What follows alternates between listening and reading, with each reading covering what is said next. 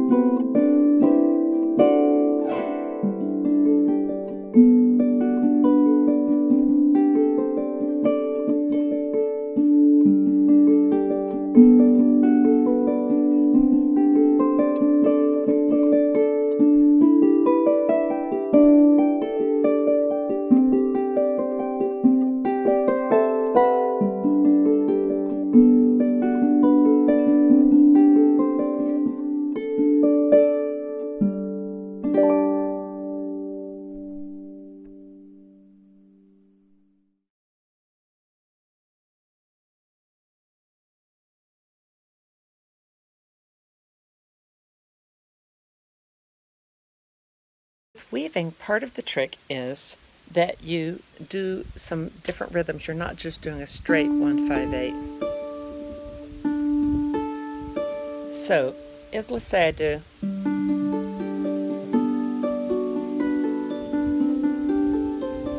Okay, so with my left hand I'm going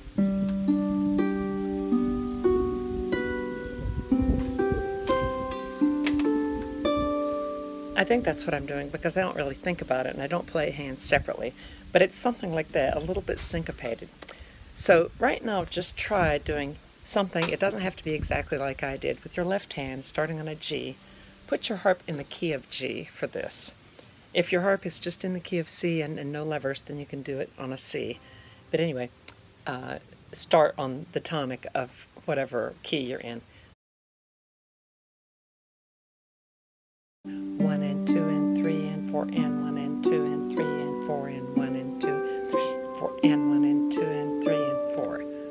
Try it.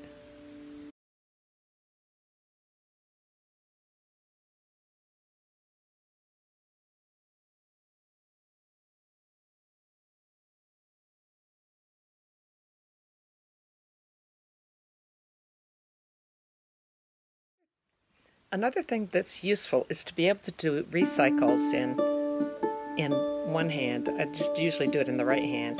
The right hand is the most ergonomic hand to do recycles because the harp is is uh, angled to your left, which puts your hands in a better position for that kind of a repetitive motion. So I'm not going to do that with a straight rhythm either. I'm going to do that with. So try that.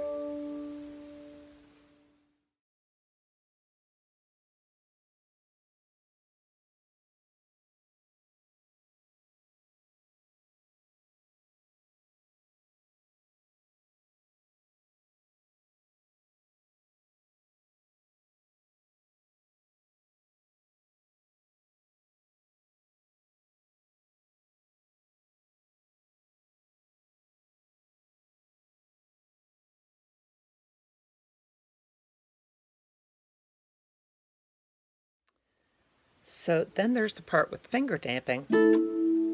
So you, you do the A chord and you just touch it with your fingers quickly and then you move to place on the next one, which is the B158. On the right hand, you're touching the C and going up. So, let's see. And then those are in unison. Then I just came down like that for a gliss because my thumb was hurt. I, and so I couldn't do a regular gliss. And I really liked the sound of that. So.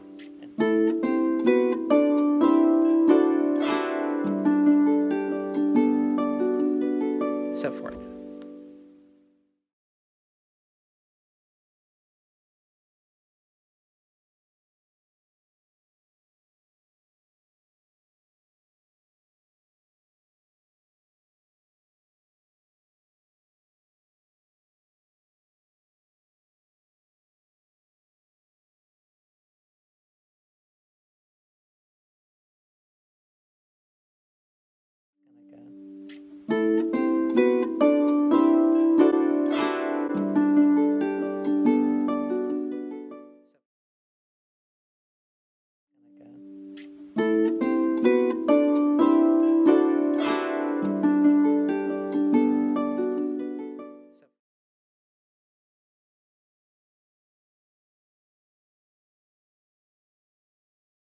So this very, so this very cool move that I call a hook, it's a 1581, or it's a recycle that's just partial. So you, you end, so you go, and the part of the tune you're going to see that in is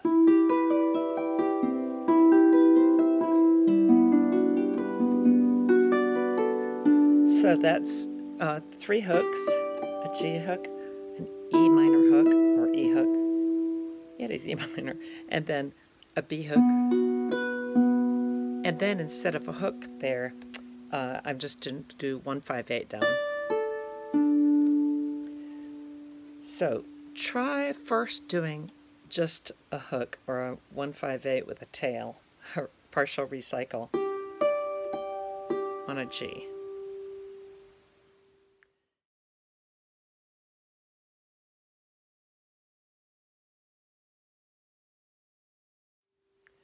Now try it on a G, and then an E, and then a B, because that's what you're going to do in the tune.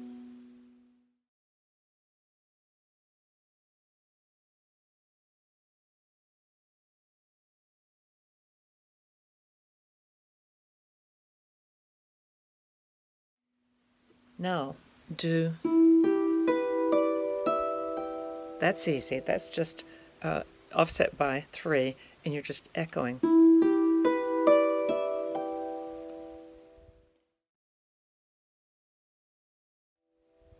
Now do it and add the tail.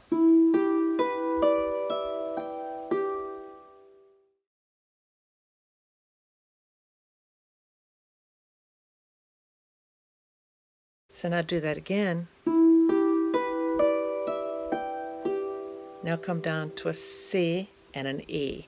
And I don't use the, the terms minor because I want you to just see the strings.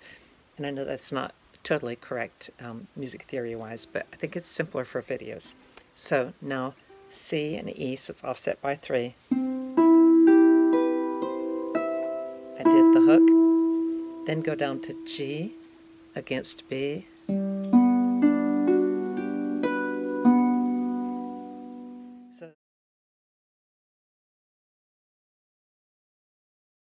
So that's what you're going to do there, but you're going to do it with uh, syncopation. So.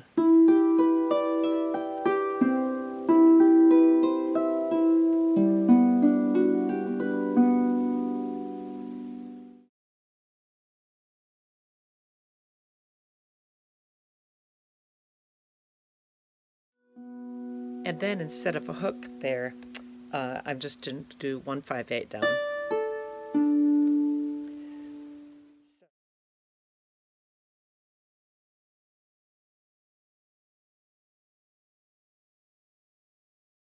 Cells sometimes have a unison pluck with the left and right hand. So I'm doing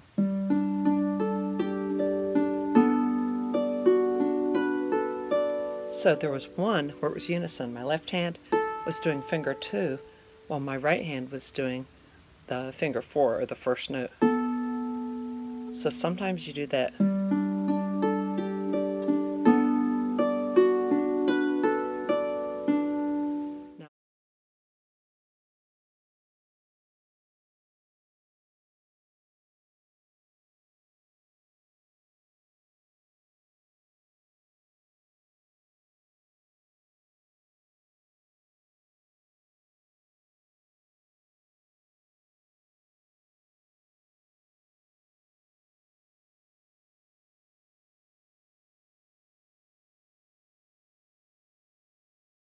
Feel free to put your own crazy stuff and syncopation of your own type in with this because like the second time I do that part that goes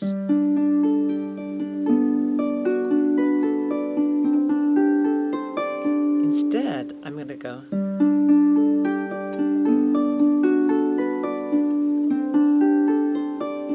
I just think it sounds it gives it variety to have it different in different parts of the piece